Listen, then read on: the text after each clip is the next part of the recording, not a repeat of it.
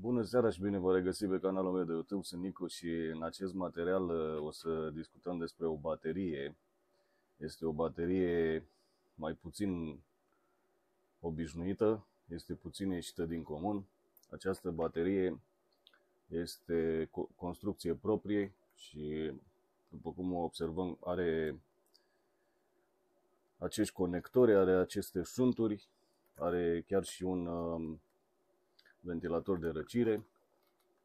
O putem utiliza, bineînțeles, la picnicuri, la uh, diverse zicem, circuite de rezervă, unde avem nevoie de o stocare de energie, unde nu este neapărat nevoie de o energie prea mare. Această baterie are o putere de 400 de W pe oră la tensiunea de 12 V. Este o baterie construită cu elemente de tip 18650 cu ion de litiu, elemente litiu-ion de la laptop, de la baterii de laptop demontate.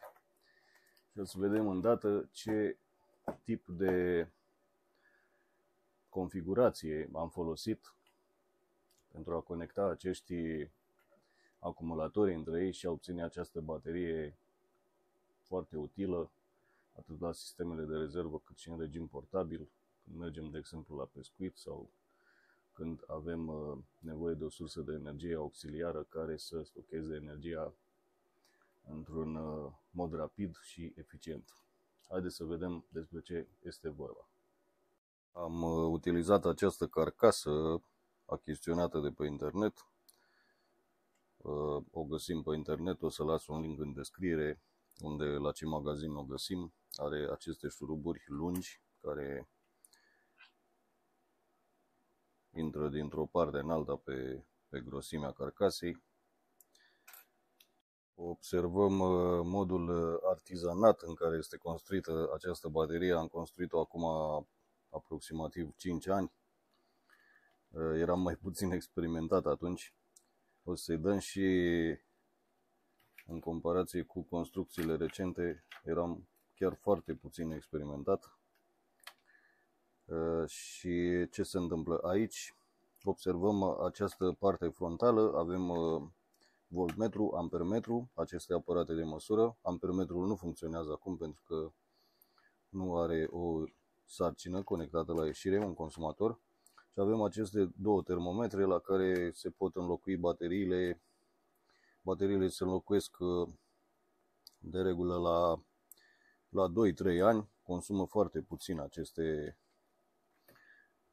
aceste termometre. Aceste termometre, observăm că aceste termometre au sondele de temperatură conectate în uh, interiorul bateriilor, iar acestea, lipiturile între elemenții 18650 sunt uh, realizate cu Uh, folie, observăm, sunt lipituri la capete cu folie, realizate cu folie și bateriile sunt uh, conectate între ele tip pachet, câte, câte 4 și ulterior încă 4 conectate în paralel și bateria este una de tip 4S uh, de 16,8V maxim.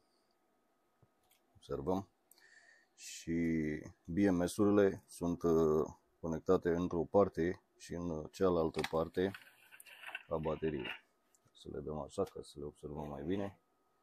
Și observăm că BMS-urile sunt conectate datorită faptului că avem uh, aceste baterii conectate cu, cu mai mulți elemente în paralel.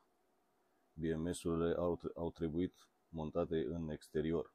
Uh, ele prezintă practic o, o protecție destul de ridicată și, mă, și atunci când le conectăm la distanță de baterii, dar uh, mai indicat este să le punem direct pe baterii, eventual uh, cu un izolator pe corpul bateriilor. În acest caz, după cum spuneam, nu le-am conectat pe corpul bateriilor pentru că bateria este una destul de mare, dar în momentul în care bateria este mai mică, este indicat, foarte indicat, ca aceste battery management system, aceste circuite de protecție care sunt obligatorii la bateriile cu ion de litiu, trebuie să fie montate cât mai aproape de baterii. Dacă sunt montate cât mai aproape de baterii, atunci uh, detecția de temperatură va fi una mai bună și umiditate și, bineînțeles, reacția la protecția pe care o conferă aceste circuite de protecție va fi una mai ridicată, mai rapidă. Avem uh, și pe partea uh, să scoatem și unul dintre, dintre aceste pecuri ca să le și privim, adică nu le mai scoatem că sunt lipite între ele. Practic conține două module cu baterii 18650 de 2200 de mAh pe oră, respectiv 2,2 Ah legate câte 8 în paralel. Deci ar veni undeva la 2 ori 4, 8, 6, undeva pe la 16-17 amperi pe oră pe fiecare baterie, pentru că avem uh, aceste pecuri, sunt legate în serie, iar uh, având în vedere că avem un uh, circuit în serie, legat în serie, vom lua capacitatea unei singure baterii, adică unei singure baterii paralel.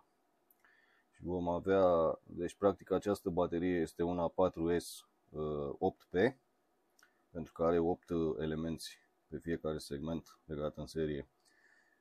Deci practic pe fiecare baterie legată în serie are câte 8 elemente legate în paralel și este o baterie de tip 4S, uh, adică 4 elemente legați în serie și 8P, uh, adică 8 uh, elemente legați în paralel și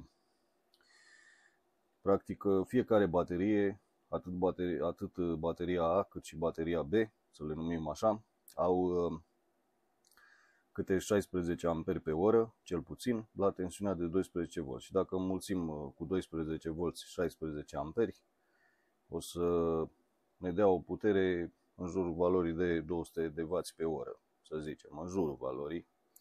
Uh, având în vedere că sunt în paralel, mai avem un câștig de putere și puterea va fi undeva pe la în jurul valorii de 400 de W pe oră. Bineînțeles, uh, și managementul la cabluri se face, uh, după cum observăm aici, cât mai departe de baterii. Este foarte indicat să facem cât mai departe de, de baterii managementul uh, cablajului extern, pentru că avem o grămadă de fire. Cu cât complexitatea este mai mare, cu atât numărul de fire este mai mare și numărul de conexiuni va fi unul asemenea. Deci avem aici două șunturi. Unul este conectat pe conectorul de încărcare, de intrare și unul pe conectorul de ieșire. Practic legarea șuntului o știm cu toții. Șunturile sunt conectate uh, la acest ampermetru care, vine, care revine în partea frontală aici și acest ampermetru arată atât curentul uh, de încărcare atunci când conectăm încărcătorul aici sau curentul de ieșire atunci când conectăm consumatorul aici. S-a montat, adică am montat, mai bine spus, pentru că e o construcție proprie, am montat uh, două mufe separate. De ce? Pentru că putem, dacă avem doi conectori, putem să conectăm atât bateriile în paralel, dacă construim mai multe, cât și încărcarea în același timp cu consumul, cu consumatorul. Și evident că această baterie o, putere, o putem să o construim oricare dintre noi. Este una deosebit de ușor de realizat. Avem aici întrerupătoare pe partea frontală. Observăm că le avem și notate întrerupătoare pe bateria 1, derupător pe bateria 2, în acest moment este descărcată, pentru că este la 10 V. Observăm că se menține această valoare de 10 V și ea când se încarcă, se va încărca undeva pe la 16 V, pentru că este o baterie 4S. 16,8 V, maxim absolut. Pentru că fiecare bloc de baterii, fiecare element are o tensiune de 4,2 V și avem 4 elemente de 4,2 și în total avem uh, o tensiune de ieșire de 16,8 V maxim sau la minim nu trebuie să scadă sub, uh, uh, acum este undeva sub minim, deci nu trebuie să scadă sub 10,6 V, pentru că este foarte periculos pentru element să-i descărcăm prea tare. Aceste comutatoare, observăm aici, avem bateria 1, bateria 2 și ventilatorul de răcire aici. Când da, ventilatorul de răcire funcționează numai când bateria se încălzește foarte tare. Deci, practic, avem un senzor de temperatură care este tot un montaj tipic. O să vi-l prezint în materialele următoare. Iar acel montaj electronic are un termistor, adică un tester, un senzor de temperatură, care în momentul în când se încălzește una dintre baterii, acesta pornește automat. Dar este bine să-l pornim de aici, inițial, pentru că are și o oprire în cazul în care vrem să oprim complet bateria, oprim și ventilatorul, pentru că ventilatorul o să pornească în cazul în care obținem într-un mediu, să zicem, așa am gândit problema, într-un mediu cald, să zicem că o ținem undeva în mașină continuu și ventilatorul poate porni și poate descărca această baterie. Și de aceea am montat întrerupător separat la ventilator. Și avem aceste aici, aceste întrerupătoare care în momentul în care dăm așa, ă, ampermetrul, ă, unul este pe ampermetru, unul pe voltmetru și acesta de la ampermetru, aceste întrerupătoare de măsură, indică curentul de intrare acum pe 1, iar la voltmetru la fel, dacă facem, indică tot ă, curentul de intrare. Și avem și LED-urile care corespund, bineînțeles, mufelor de intrare și de ieșire și dăm aici pe intrare și acum suntem conectați la intrare și șuntul este, uh, atât șuntul cât și rezistența adițională de la voltmetru sunt conectate în acest caz pe mufa de intrare. În momentul în care dăm ieșire, așa, adică avem ampermetrul care măsoară pe ieșire, pe mufa de ieșire și voltmetrul la fel, tot pe mufa de ieșire. Deci pe poziția 2 avem ieșire, pe poziția 1, 1 avem mufa de intrare sau de încărcare. Sau, bineînțeles, le putem folosi și viceversa.